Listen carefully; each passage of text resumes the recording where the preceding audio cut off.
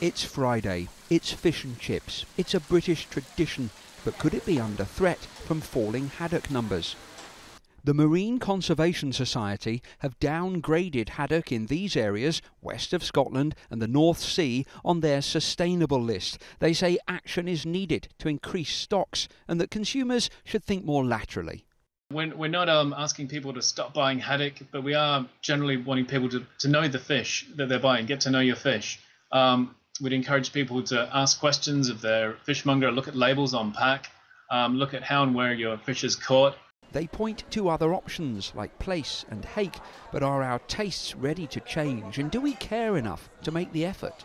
Do you worry where your food's coming from and, and what quotas are and what stocks are and sustainability? I should do, but I don't. It's obviously something to bear in mind, isn't it? Whether you're buying fish at the supermarket or whether you're consuming it in a place like this. Because it can't go on forever.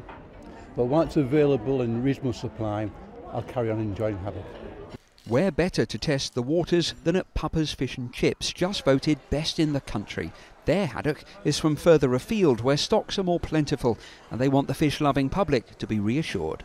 It's all 100% sustainable and it's all coming from the Barents Sea. And I think the important message that we get across is there is plenty more fish in the sea, it just depends where you're fishing. A thousand tonnes of white fish a week comes via those more northern routes into Grimsby, where headlines about fish and chips being off the menu haven't gone down well. From the consumer's point of view today, they might not know what to think. Yeah, I, I, I don't disagree with that, but uh, we need to counter some of those messages that have come out this morning in the newspapers, and we need to give the consumer a lot of confidence that fish is available, particularly haddock. It's popular in fish and chip shops, and long may it continue.